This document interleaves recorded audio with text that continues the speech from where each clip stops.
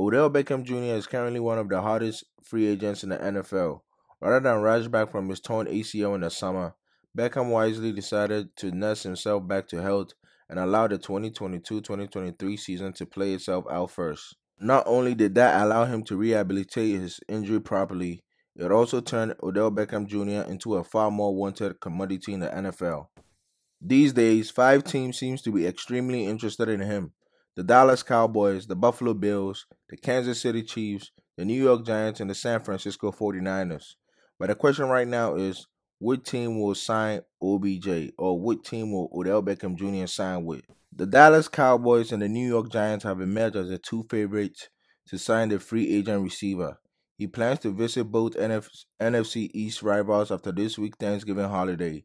These are the only known visits scheduled for Odell Beckham Jr., though he could take others before making a decision on where to sign. The Dallas Cowboys have been very open about their pursuit of Odell Beckham Jr., especially the owner, Jerry Jones. This is what he had to say about him. Watch the video. Uh, has that been set up? You guys have a visit set up with Odell? Well, yes, but, uh, uh, and I'm gonna leave it at that. Okay.